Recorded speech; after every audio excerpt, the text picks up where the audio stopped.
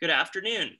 On behalf of Professor Barry Rabe, the Ford School of Public Policy, and in particular the International Policy Center, it's my pleasure to welcome you to our fourth webinar event for the North American Colloquium on Climate Policy. The North American Colloquium is an ongoing collaboration between the Ford School, the University of Toronto's Munk School, and the Centro de Investigaciones sobre América del Norte at the Universidad Nacional Autónoma de México. I would also like to acknowledge the generous support of the Meany Family Foundation for making this year's programming possible. Today's event focuses on the politics of oil and gas pipelines with evidence from Canada and the United States. First, Andre Lecours will present findings from his research with Daniel Beland, comparing the politics of pipeline expansion in case studies from Canada and the US. Then Amy Janzwood will present from her research with, excuse me, with Sarah Martin and Kate Neville, which focuses on two proposed pipeline expansion projects in Canada. As audience members, you may ask a question in writing using the Q&A feature on your Zoom control panel. During the Q&A, uh, we'll get to as many questions as possible, but apologies in advance. We will not be able to get to all of them. We may go about 10 minutes past the scheduled end time of 5 p.m. local time in order to accommodate as many of your questions as possible. It's now my pleasure to introduce Andre Lecours. Andre Lecours is professor in the School of Political Studies at the University of Ottawa. He is the author or editor of numerous publications on the topics of nationalism and federalism.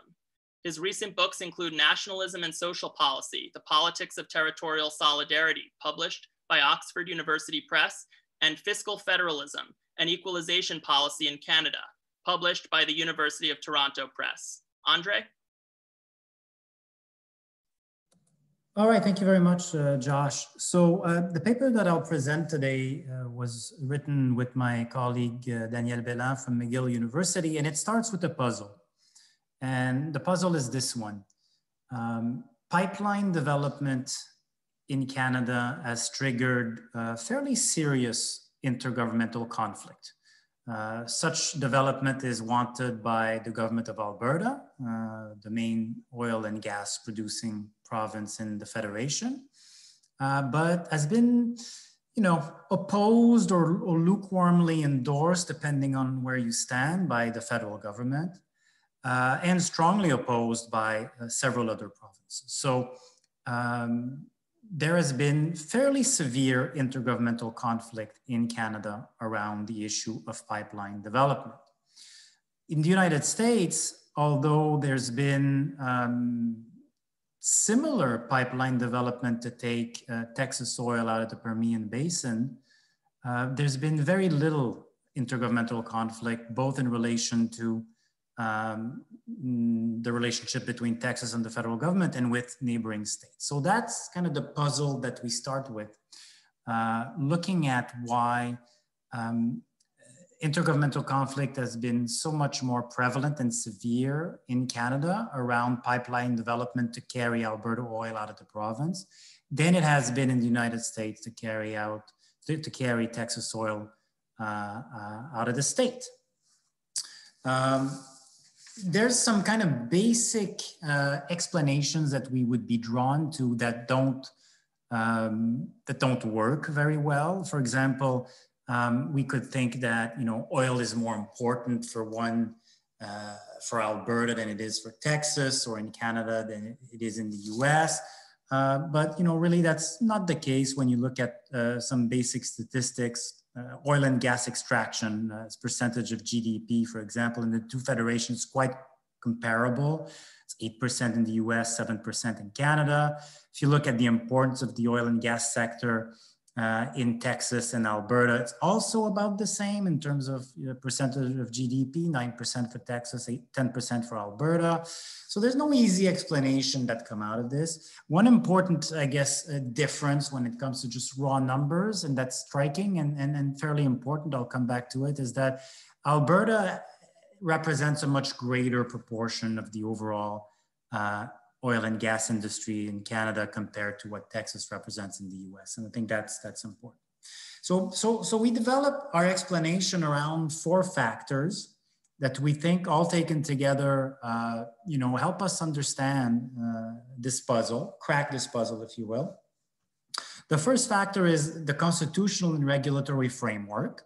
Uh, so basically, you know, what I'll explain here is that uh, in Canada, the federal government is much more exposed uh, to, uh, uh, you know, decision making around pipeline development. It has to arbitrate between different positions in the way that the United States uh, federal government does not. The second factor we'll look at is the ideological and political connection to oil that exists both at the federal level and at the, the constituent unit level in both federations. Thirdly, we'll look at um, indigenous opposition to a pipeline development. Um, strong indigenous opposition can uh, provide some momentum for opposition on the part of either the federal government of or constituent unit governments. And what we'll find here is that uh, it's it's stronger and more more uh, more central in, in, national politics in Canada than the US. And finally, our last factor is uh, the fact that in Canada there is a uh, an equalization program that uh, seriously aggravates the oil producing province of Alberta, uh, uh, which then kind of, um, you know, enmeshes the discourse about pipeline development with a, a broader criticism of fiscal federalism in the country. So those are basically the four factors that I want to discuss uh, fairly uh, briefly with you here. So let's start with the issue of kind of regulatory framework. Uh, for starters, I mean, the idea behind uh, developing pipeline uh, as the government of Alberta wishes is to take Alberta oil to new markets. Alberta oil right now, Alberta is landlocked and it can only export to the United States, very dependent on the US market, uh, and it doesn't want to be, right? Uh, but in order to go uh, to go east and west, so to export oil to either Europe or Asia or both, uh, you need pipeline to cross many different provinces. Um, and and um, so pipeline development in Canada becomes automatically an issue of Canadian federalism. Um, and the regulatory framework in Canada, basically as confirmed by a Supreme Court of Canada uh, decision uh, uh, in 2020, is that the government of Canada, the federal government, uh, has sole authority over the regulation of both oil and gas pipelines, right? So the, the government of Canada needs to basically approve pipeline development for it to occur.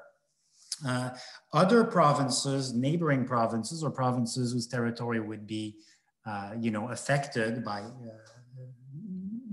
new developments in pipeline uh, really have constitutionally nothing to say and, and, and materially nothing to gain either because in Canada, uh, uh, the natural resource natural resources are property of of, of, of, of provinces.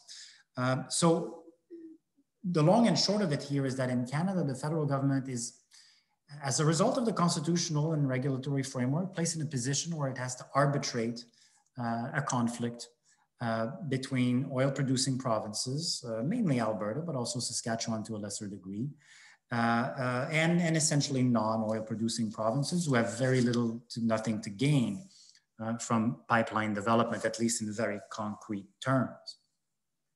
Now, of course, the Texas experience with oil is a little bit different because it already has uh, uh, a more considerable uh, pipeline network geared towards export. It also, of course, has access to sea. Um, so perhaps we could make the argument that more pipeline development could be seen uh, uh, by Texas as less crucial to its economic, uh, overall economic development than it is for Alberta. But at the same time, uh, we know that there's been a tremendous pipeline expansion uh, as a result of the Texas production boom. Um, uh, and, and, and this has not created the same type of intergovernmental conflict as we, uh, we've seen in Canada. Uh, and, and again, to, to start with, we need to look at the, I think, at the constitutional regulatory framework, which is quite different than what we find in Canada. Uh, the, the US federal government does not have an authority comparable to its Canadian counterpart on the construction of, uh, uh, of, of, crude oil pipelines. In fact, it's, it's, it's very much a state by state basis, um, which, you know, sometimes doesn't uh, involve very stringent kind of uh, uh, authorization or, or, or requirements.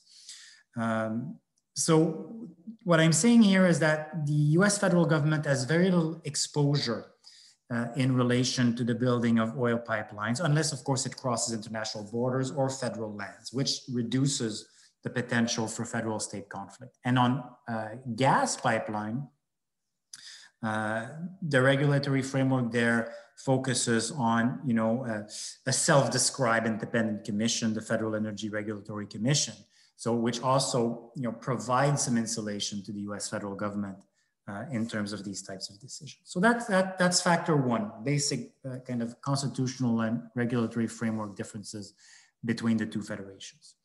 Point two, more focused on ideology and politics here.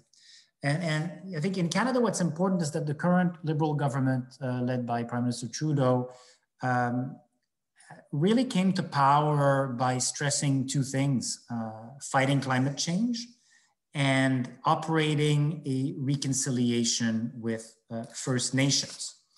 Um, and, and of course, we know that, you know, the Liberals' uh, uh climate change commitment uh, puts the federal government in an awkward position when it comes to um, uh, uh, to potentially supporting pipeline development because then it's accused of being hypocritical, right? And and and the federal party system in Canada uh, features other parties on the left of the Liberals, uh, the New Democratic Party, the Bloc Québécois, and the Green Party, all small parties, mind you, but that that that really uh, press the federal liberal government on the issue of climate change, right? So from, from and if you, from a pure electoral perspective, you know, the liberals really have never have any success in the province of Alberta. They don't actually have a seat there uh, and not much of a prospect for one at the forthcoming elections whenever they come. So there's very little political incentive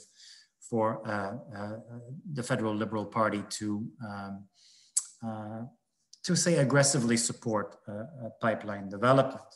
Uh, it's also an awkward position when it comes to the so-called reconciliation with First Nations agenda of the Liberal Party of Canada, because of course, many different uh, uh, First Nations in the country have opposed uh, pipeline development out of Alberta. Not all of them, mind you, but, but probably, probably half of them. there's also political and ideological opposition coming from two important provinces. One is British Columbia, uh, where a pipeline would need to cross in order to take Alberta oil to, uh, uh, to sea and then eventually to an Asian market. Um, uh, the BC, uh, BC has been governed by uh, the New Democratic Party and, and, and at some point in a coalition with the Green Party. So very, I guess, unfriendly political forces for pipeline development.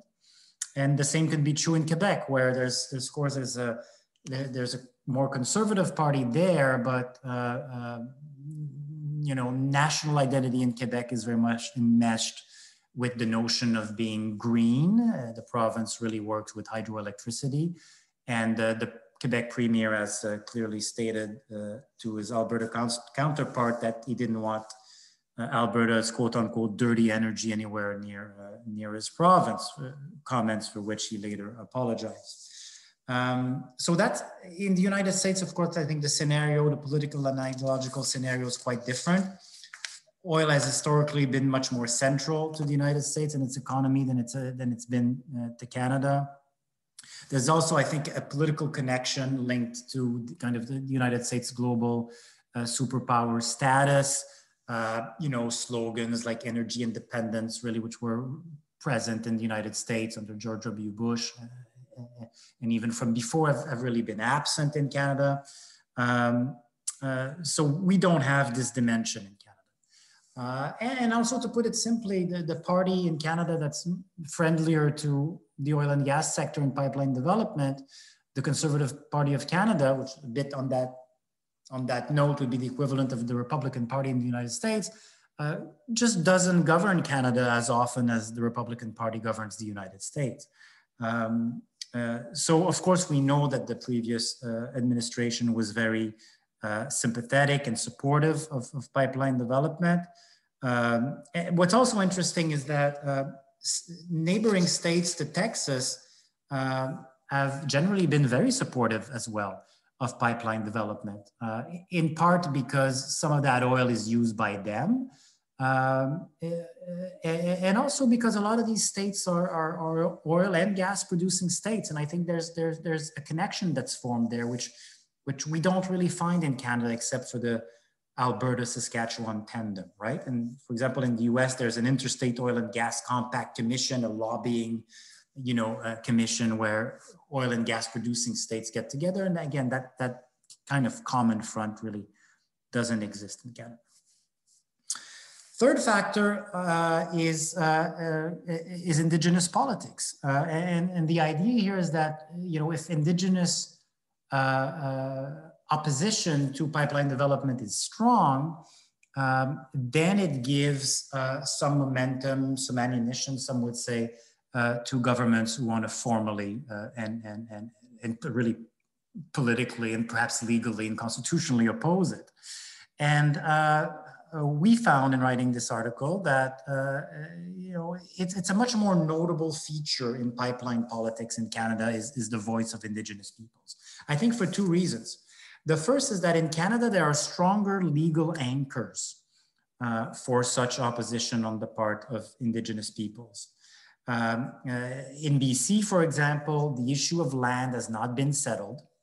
Uh, and the Supreme Court of Canada has recognized that governments have a duty to consult uh, with, in, with Indigenous peoples, with First Nations, uh, whether the land was ceded uh, through treaty or not.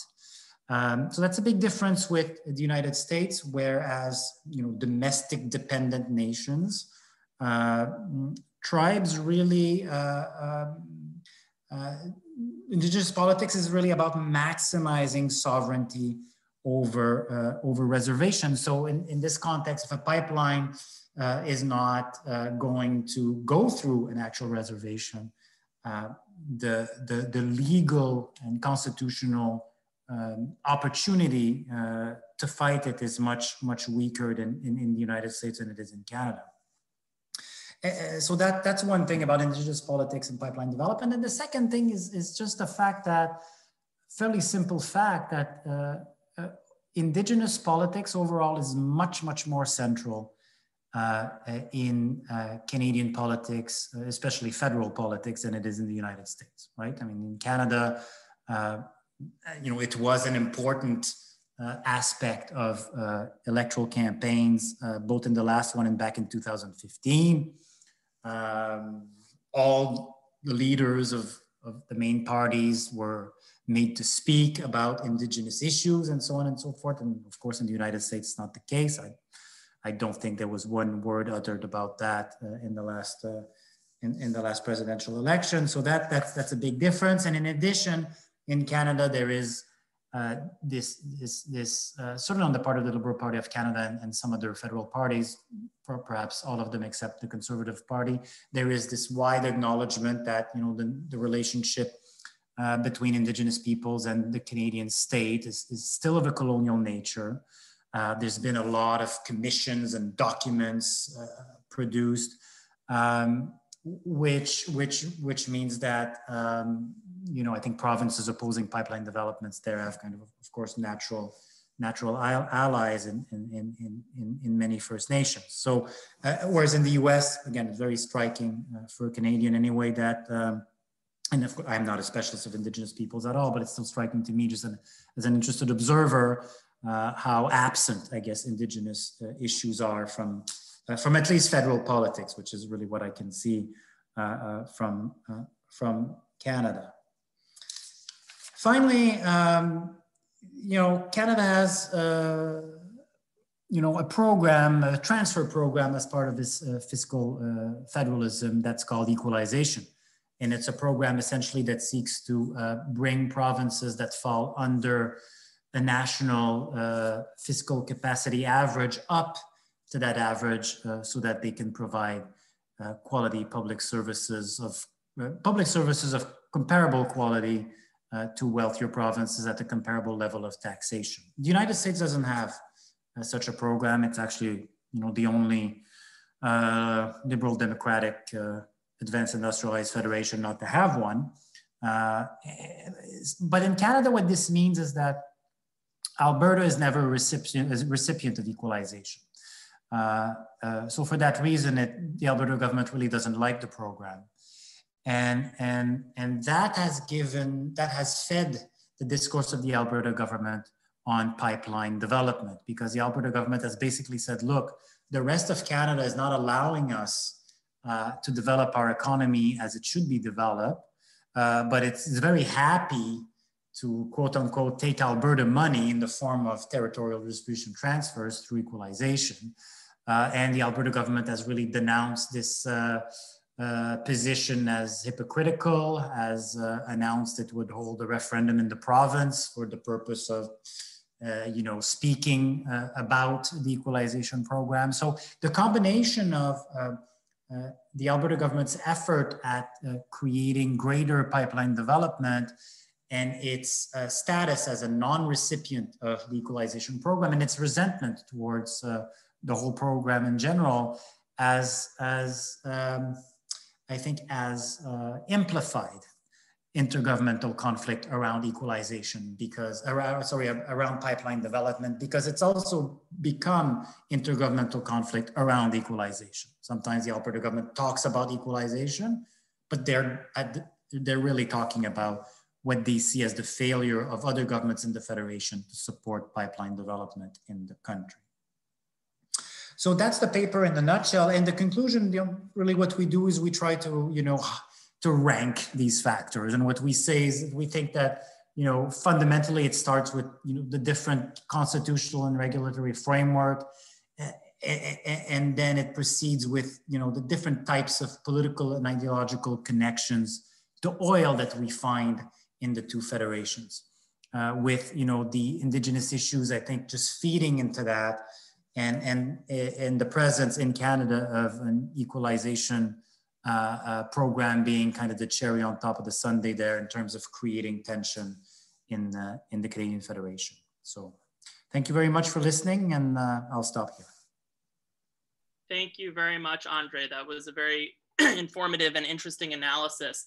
And at this time, it is my pleasure to introduce Amy Janzwood for the next presentation. Amy Janzwood is a postdoctoral fellow at the University, in sorry, in the Department of Political Science at the University of British Columbia and a visiting fellow at the University of Victoria's Center for Global Studies.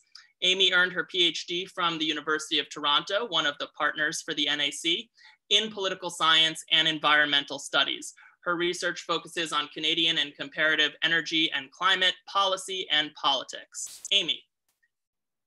And she's going to share her screen. Yeah, I'll just get that started. Thanks for that really warm introduction. I believe you can all see my screen.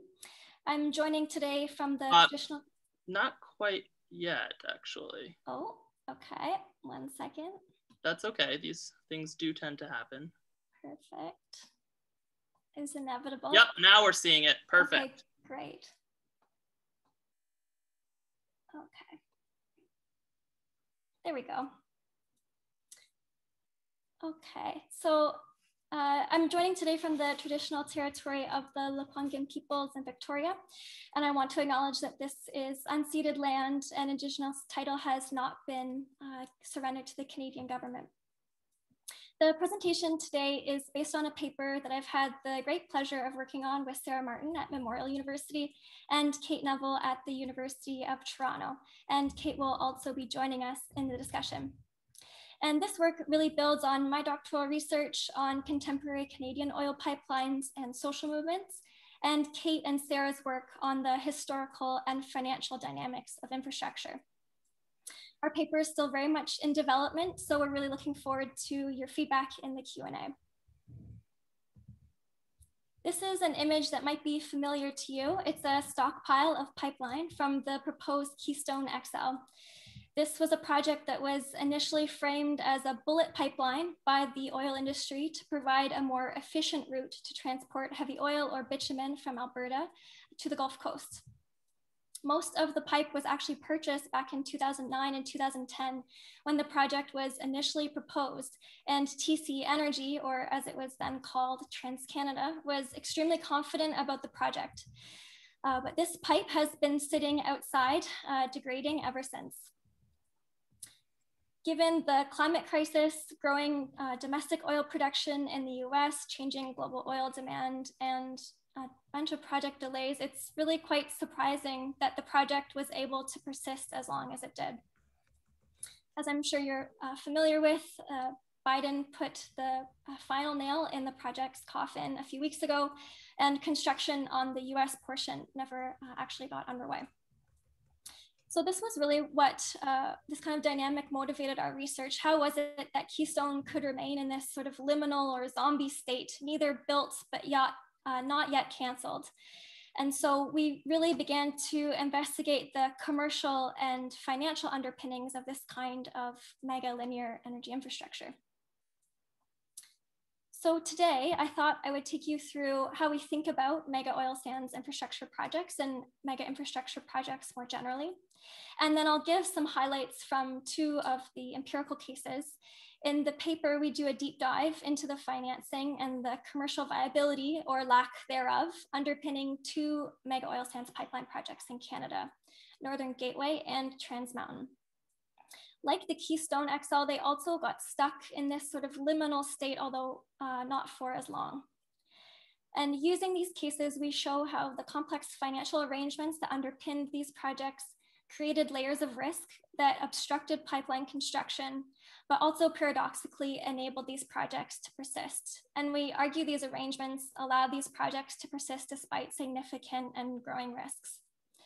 And then I'll just wrap up by speaking a bit about what this means for other fossil fuel infrastructure projects and other major energy companies in North America. We position our work in political economy, but we draw on the infrastructure scholarship more broadly uh, from a range of disciplines, including geography and sociology, which really understand built infrastructure as both embedded in and underpinned by social, legal, and financial relationships. And we use the term mega project as economic geographer Bent Flyvbjerg does to understand this subset of built infrastructure projects that typically cost around a billion dollars or more and includes new transmission pipelines. We also use his concept of sublimes to really explore the underlying visions and logistics that drive these projects. And we suggest it's the promise of economic growth and investment that embed pipelines into particular visions of the future. We use assemblage thinking to understand the financial complexes that, under, um, that really support or underpin infrastructure proposals. Assemblage thinking has really been developed in science and technology studies, and it helps us understand complex dynamics and encourages us to pay attention to relationships, processes, and interactions. An assemblage can include actors, ideas, institutions, or even the environment itself. And in our case, the assemblage is along what the oil industry calls the hydrocarbon value chain. And here pipelines play a crucial role because oil is only valuable, of course, if it can be moved from where it's extracted or produced to where it's refined or where there's demand. And it's this transmission process that generates economic value. The assemblage to make a pipeline project is very expansive and it includes everything from the characteristics of the bitumen or the heavy oil that would flow through the pipeline to the pipeline company itself, the oil producers and refiners that want to ship the oil, the states and regulators that must approve a project, uh, the indigenous nations and landowners whose land is crossed, the banks that finance the project, and the list goes on. And we think that using the concept of assemblage really opens up new ways of thinking about pipeline politics and allows us to understand pipeline proposals, not just through the actions of pipeline owners or companies or government decisions or executive orders or even oil prices, but to a much more complex set of dynamics among multiple actors. Uh, understanding this idea of assemblage requires us to really explore the process of turning the idea of a pipeline into an investable asset. This process is called assetization, which is as jargony as it sounds, and it's the making of assets to extract financial value, be they physical infrastructure, farmland, various loan products, or the new world of carbon finance, although the process of assetization itself isn't new. We draw on sociologist Jens Beckert and his idea of fictional expectations, which he's developed, this idea of narratives that underpin investment decisions. And Beckert suggests these expectations are fictional or invented because the value of the asset isn't tied to some inherent quality. Rather, it's what investors think the value will be, and that's what really drives investment. Pipeline stocks have often been thought of as blue chip or widow and orphan stocks. And so they're believed to have relatively low volatility and they pay relatively high dividends pipeline companies are generally seen as stable. And although they might not be setting growth records, they are generally financially sound. And so it's these narratives that drive investment in new pipeline projects despite their risk.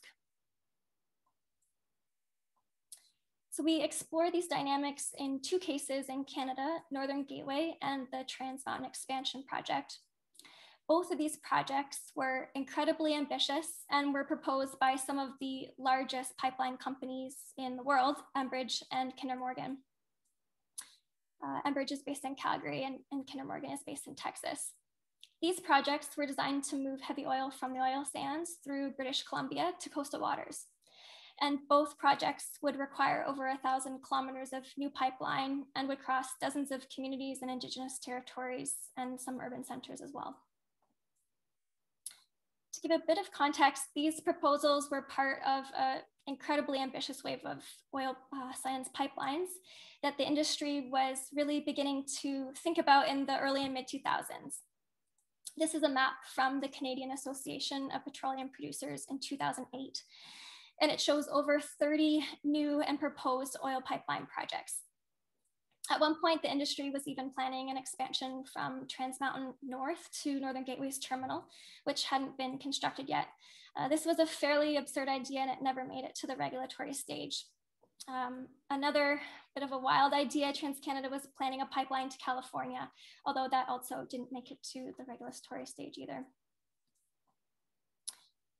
It's important to point out that these plans were really directly linked to making the oil industry's growth viable um, and to to increase production in the oil sands.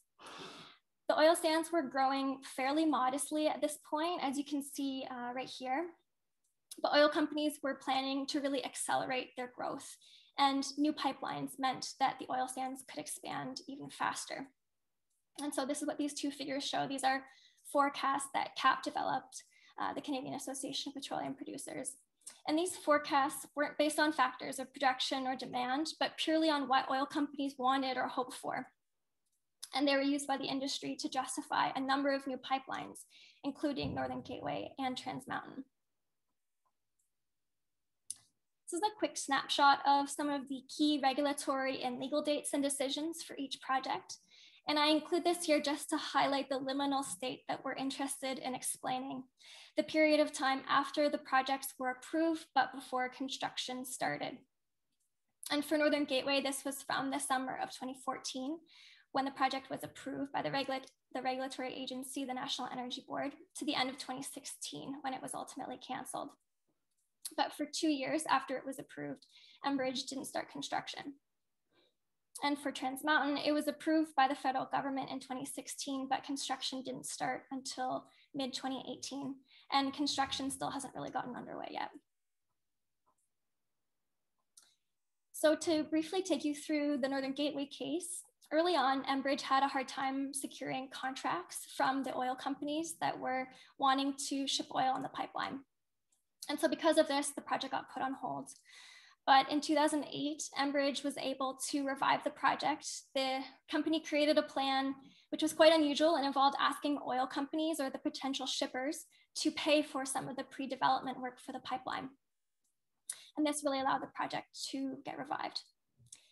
Enbridge required uh, significant support from dozens of Indigenous communities uh, across the route of the pipeline, but many Indigenous communities, uh, including many First Nations in British Columbia along the route, were uh, staunchly opposed. In 2012, there was a massive protest outside Enbridge's annual general meeting in Toronto, which is pictured here. And it was led by an alliance of Indigenous nations that travel by train across the country to present at the AGM about the risks of the project. It was not until 2013 that Enbridge um, took seriously really the, the participation of Indigenous groups and offered them an equity stake in the project, although many argue it was too little too late. Uh, this did help the project get approved the next year, but less than half of the eligible Indigenous groups were partners and progress really stagnated trying to get more buy-in. So this is one of the only pictures of representatives of the Aboriginal Equity Partnership. Um, this was with uh, the project president in 2016. And this was ironically when they were asking the regulator to, um, to have an extension on the project sunset clause. Enbridge had already pushed the project timeline back a few times, and the project was stalled largely due to overwhelming opposition, especially from coastal First Nations in BC, and over a dozen legal challenges that were pending. Uh, one of these challenges revoked, or consolidation actually of several legal challenges revoked the project certificate, and eventually the project was canceled by the federal government in 2016.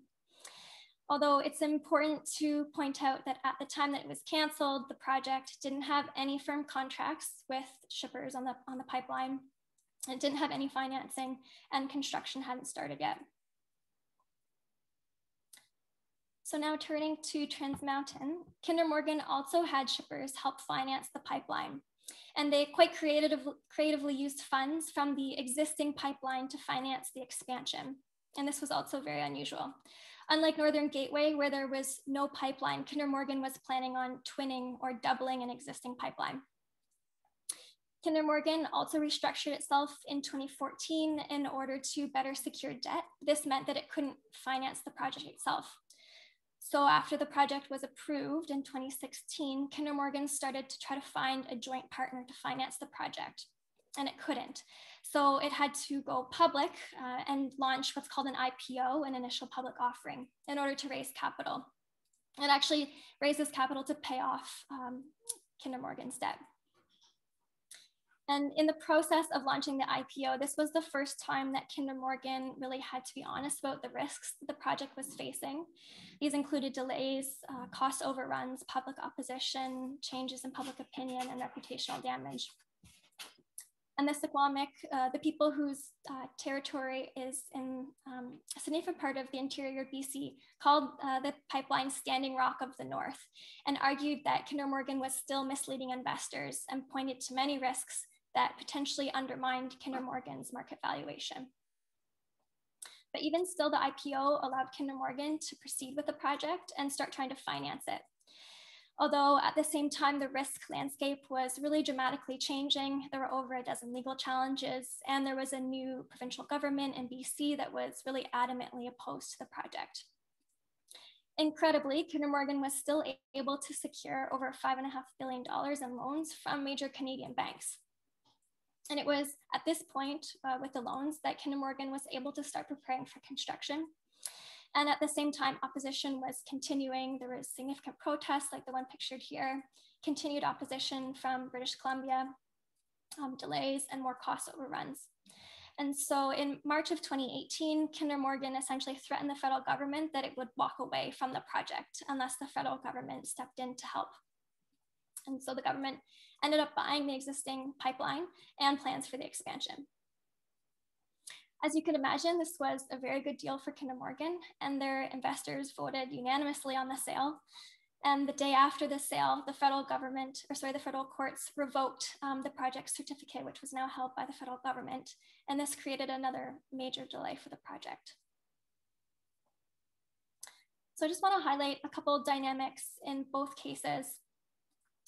First, there were quite novel arrangements that allowed the projects to keep moving forward, um, whether it was having oil producers actually fund the development of the project, uh, using equity deals to mitigate risk, or launching an IPO. Second, in both cases, the pipeline company was fairly successful in mitigating or rearranging corporate risk by strategically using contracts with shippers or restructuring their corporate entities and so the pipeline companies were able to walk away from both projects with relatively little loss. And the last thing I'll note here is that uh, the discourse in Canada and the US around the loss of Northern Gateway or Trans Mountain um, or the, the government's purchase of it, and even the loss of Keystone was mostly about fictional economic losses, the loss of potential future benefits or potential future investment or jobs, not real economic loss that because the companies were uh, quite successful in, um, in maintaining uh, fairly balanced portfolios and fairly positive uh, ratings. So if we return to this classic political economy question of who wins and who loses, in the case of Trans Mountain, the public is on the hook for something that doesn't exist yet. It's the idea of a pipeline that was made into an asset through these financial arrangements that actually created real financial loss for the public and the taxpayers are now on the hook for a project that was initially proposed to cost around $5 billion and is now uh, 12.5 billion and continuing to increase. And pipeline companies and energy companies that have proposed these projects are moving away from new mega oil sands infrastructure or offloading them on governments and are now focusing on other markets, including uh, Mexico and the US and other fossil fuels like shale gas. Conventional wisdom would suggest that these companies would be suffering, but that's not the case. And this is where financial expectations play an interesting role because these companies are still highly valued and investors have a lot of faith in them. And today, even though money is flowing away from pipelines and into renewable power and utility stocks, pipeline companies still have very attractive valuations and investors are still considering them to have and I quote, resilient and low risk business models that are well positioned to grow into the longer term, in the words of one analyst. Of course, pipeline um, pipelines and pipeline companies are still a site of contention. A coalition of over 100 organizations are working to leverage the financial vulnerability of mega pipeline projects and they're targeting some of the largest banks, asset owners, investors, and insurers that are supporting other fossil fuel expansion projects, including uh, and currently Enbridge's Line 3. This coalition is building on the divestment movement and other pipeline campaigns, and it remains to be seen whether they'll be successful in defunding these projects. And just a few thoughts um, as we conclude and, and open up the discussion.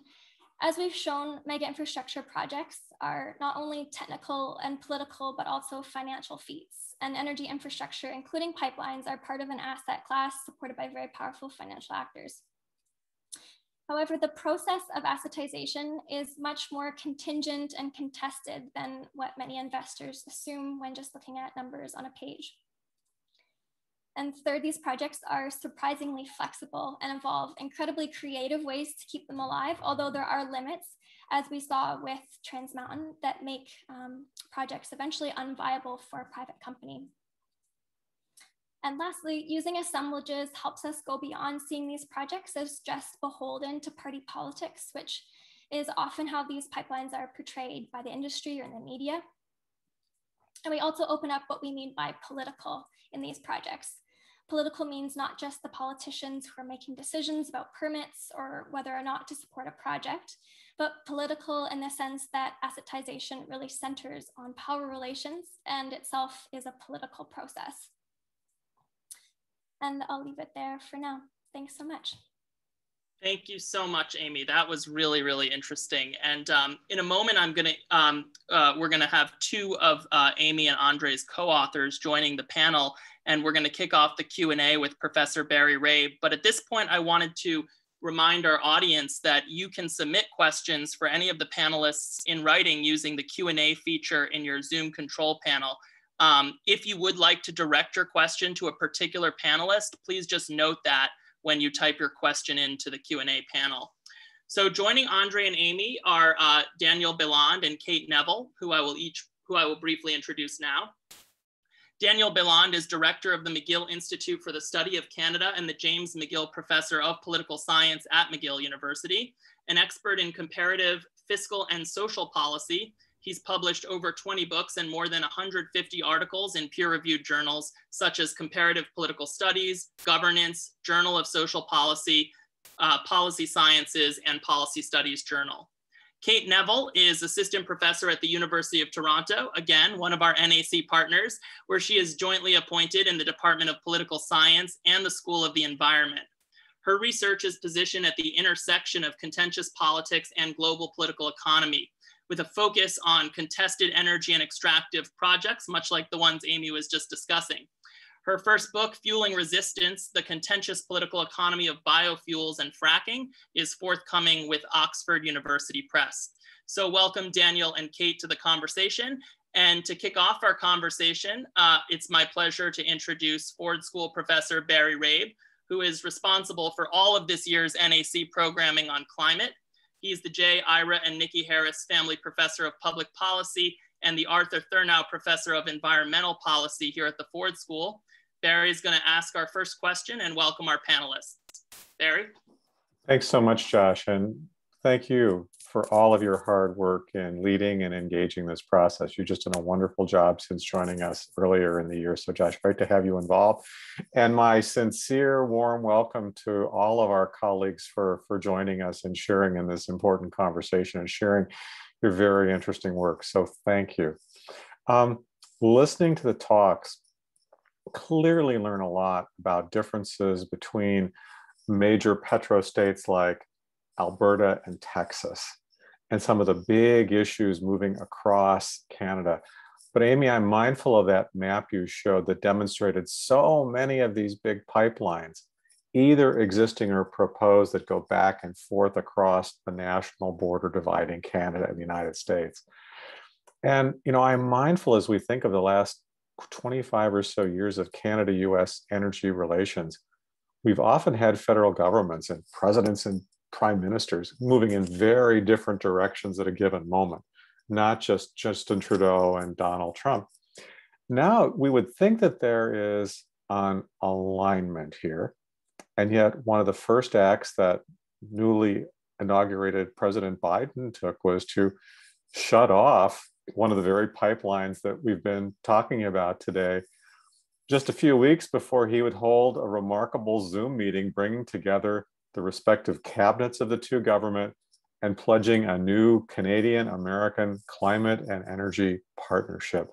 So I'm curious to any of our authors how we might think about this Canada US relationship when the federal governments seemingly are more likely to align, and, and do we begin to think about a coordinated set of pipeline and related transmission policies? Are the differences and the interests that take place within each government just too fragmented and splintered to, to expect something along those lines?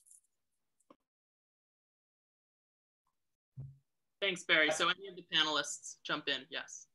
I can start if you don't mind. Uh, thank you very much for the invitation, and I thank uh, Andre because I'm, you know, uh, he's a great presenter. I'm not, so it's great that he presented our, our, our paper, and he's the lead author anyway.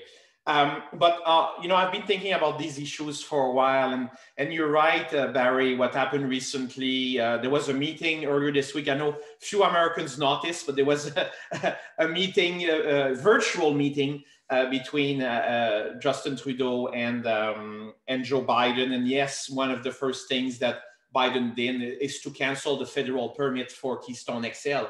Um, what's interesting to me is how these things uh, play out politically internally.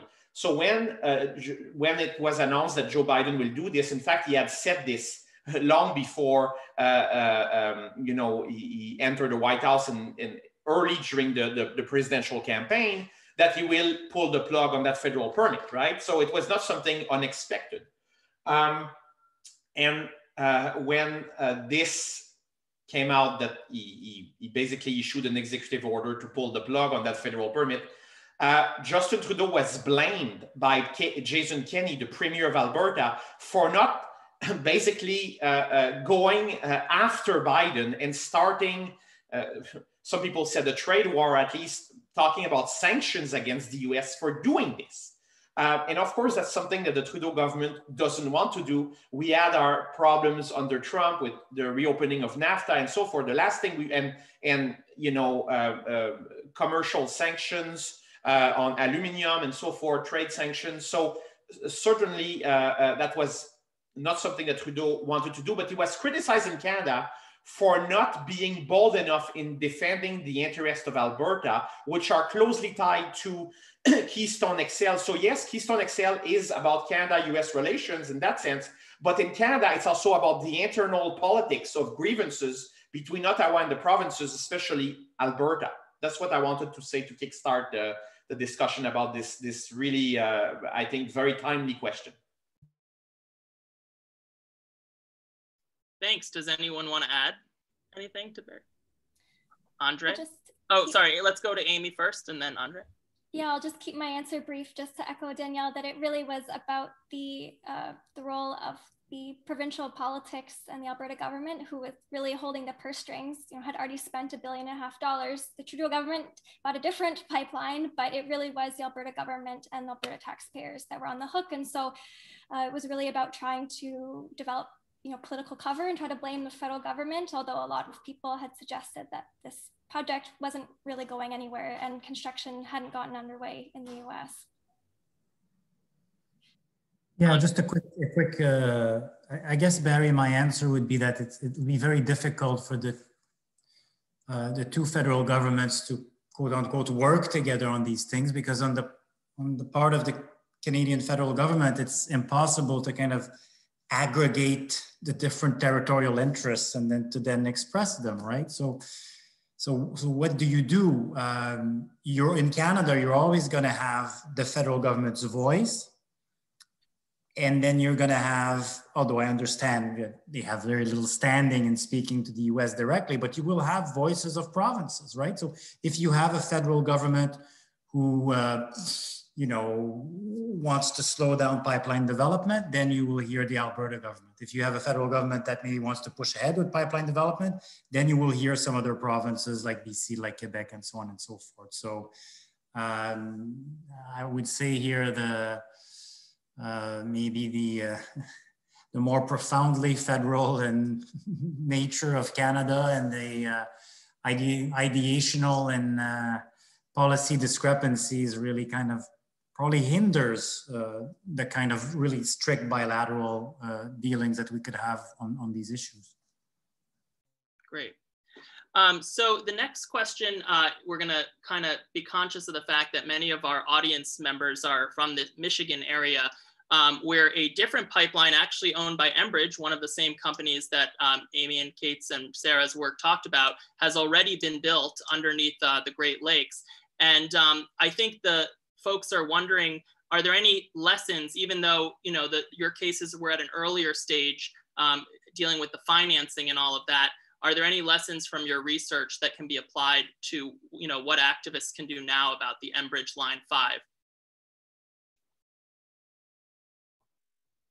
Yeah, that's a super question. Um, it's a lot more challenging to the politics change quite significantly once a pipeline is already in the ground. Although we've seen some quite incredible precedents now in the US with the um, DAPL pipeline being shut off by a court decision. And so now in the politics around um, the Michigan pipeline, it's I think pipeline companies are extremely nervous about um, the sort of expanding possibilities for infrastructure. And this is a project that's quite old. And so pipeline companies have really not been forced to think about what to do, how to retire pipelines. And so these are questions that are really only starting to become answered in the regulatory process, at least in Canada. And so these are things that um, are really coming, conversations that are coming to the fore now. And these projects are quite vulnerable, and especially because pipeline development has been extremely stalled in Canada, the political stakes are quite high, and Enbridge is extremely nervous um, because this is one of the main lines that um, are part of its mainline system. Okay. Uh, Kate, did you have anything you want to add or? No. Oh, yeah. Well, I just, I did want to pipe in that some of Amy's other work uh, does some comparison between projects that are brownfield, so projects that are already built and being expanded or replaced versus ones that are greenfield, new transmission pipelines and the kinds of political arrangements that are then possible. So, so you know that that point about the possibilities for opposition for things that are already built versus things that are brand new for new land transformations. Um, do look a little bit different. And, and, you know, we see that in other infrastructure as well, things like hydropower dams, uh, where we're thinking about aging infrastructure in a different way than we're talking about new infrastructure development. So that's not necessarily a clear set of, of points to how to advocate against a particular project, as much as things to consider about the differences even between things that look similar, different pipelines. So here's a question, uh, shifting gears to a, a, a, bigger question since a lot of us have political science backgrounds, and I'm not sure how practical this question is, but it's certainly an interesting one. Would it be better to nationalize pipelines so that all Canadians could benefit from the profits? so what are people's thoughts on would it be desirable normatively? And then secondly, you know, how feasible might, you know, what would be the uh, current hurdles to doing so? Well, I can start by saying that, in a way, I mean, the federal government uh, bowed to the Trans Mountain Pipeline. So uh, obviously, uh, I don't think it's part of a big master project to lead in the direction of uh, that is uh, basically uh, alluded by um, by this question. But I think that the federal government already spent a lot of money to buy a major pipeline project so that it doesn't sink, that to, to uh, so that it stays alive. And it did that in part because of the, the political climate in Western Canada, especially in Alberta.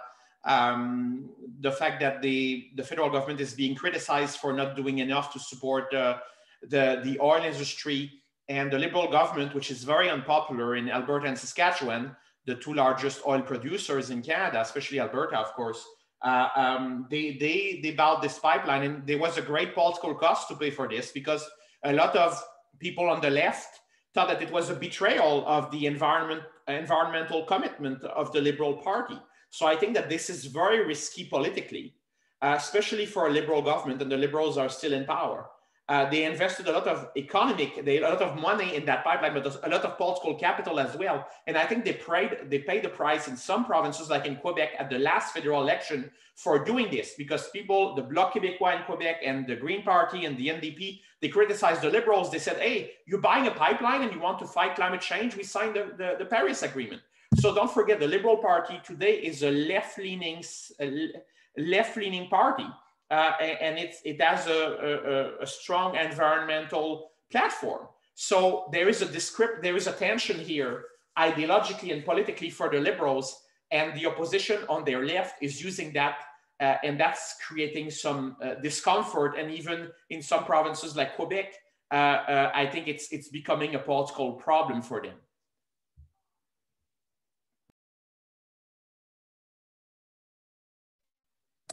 Also, just to yeah, add, I might jump in too. And oh, sorry, Andre, go ahead.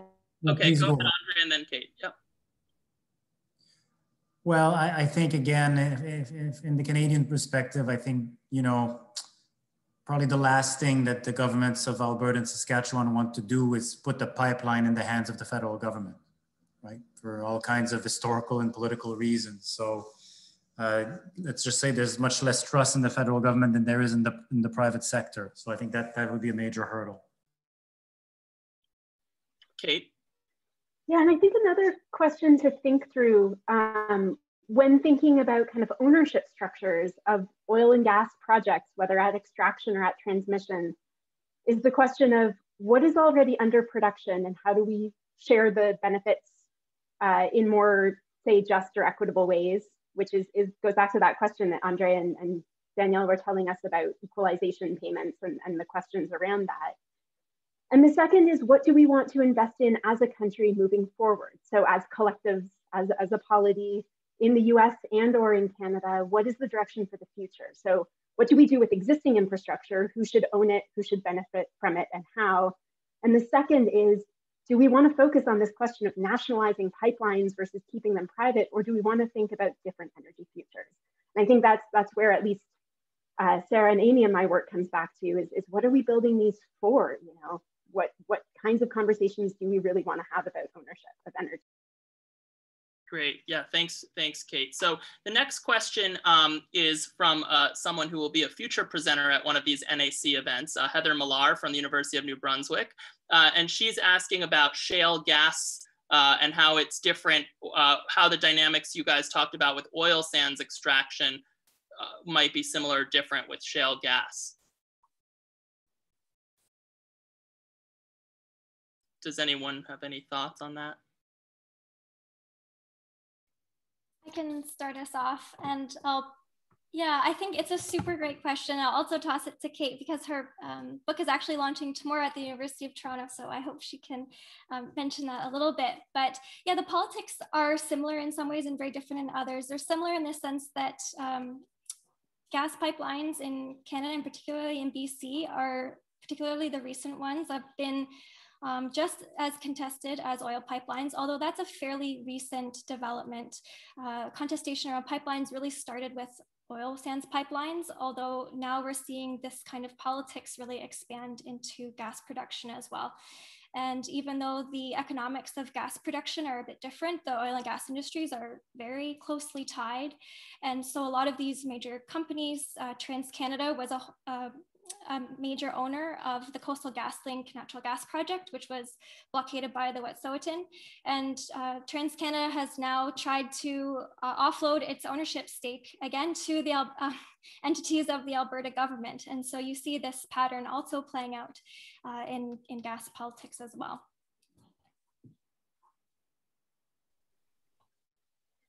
Yeah, and I, I mean, I have, I have lots to say about the politics of shale, but I'll, I'll just say one, one kind of quick thing about the role of narrative in this, which is um, one of the differences between oil sands pipelines and all the debates over shale gas is a question that shale was introduced, shale gas was introduced as a lower carbon solution. So the debates over whether that's true have been fierce. Um, you know, that's, that's sort of a, a question on its own, but it's certainly been a powerful narrative for government and so I actually, I'd be curious to hear Andre and, and Danielle's visions of what this means uh, for kind of state politics, for, for governmental level politics. But we certainly see a difference with the BC government opposing oil sands pipelines and, and BC polities doing that, but much more mixed views about whether liquefied natural gas should be produced. So I do think that carbon narrative, that climate change uncertainty and the way it was introduced is is a big factor in those.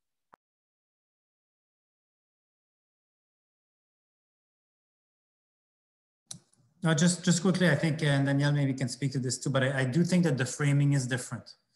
Uh, I, I, do think that uh, um, rightly or wrongly that uh, when it comes to oil pipelines, this is when uh, Canadian parties, at least probably maybe Canadian citizens as well, uh, perceive a greater tension with, uh, you know, fighting climate change objectives. Uh, and, and I think because also at the level of the narrative and the frames, um, you know, uh, it's it, the image of, of uh, you know, adverse environmental consequences has really largely been linked to you know, the so-called Alberta tar sands, if you want to use that, that expression. And, and, and, and I think that's gained so much more attention than, um, than the alternative, which like you said, was initially promoted as being a lower carbon alternative. So uh, I think, you know, focusing and stressing uh, the way things are presented here uh, gives us part of, uh, part of the answer. Yeah, and I would say, I mean, shale gas often is is it becomes more kind of an internal provincial issue. Uh, we saw that actually in New Brunswick. We have a question from someone in New Brunswick or in in Quebec. And when we talk about tar sands or oil sands, and people generally, when you use the term oil sand, you're maybe more favorable tar sand in, in Canada. When you use that word tar sand, it means you're really against it normally. Uh, it's interesting how people choose the words. Uh, obviously, as, as Kate is smiling, and of course she knows all about that. Um, you know, uh, yeah, I think it says it doesn't have the same. Uh, I would say it doesn't capture the imagination as much at the federal national level. We talk way much, way more about what will happen with with you know oil sands and and and pipelines than than shale gas per se overall, at least in in in recent in, in over the last few years. but again, Kate is much in a much better position than I am to talk about this. But uh, in terms of federalism, I don't think it's as prominent, uh, certainly not in, in, in the last few years. All right. Well, if unless anyone has any uh, last thoughts, um, uh, I guess we'll have to end it there. It sounds like people should check out Kate's new book.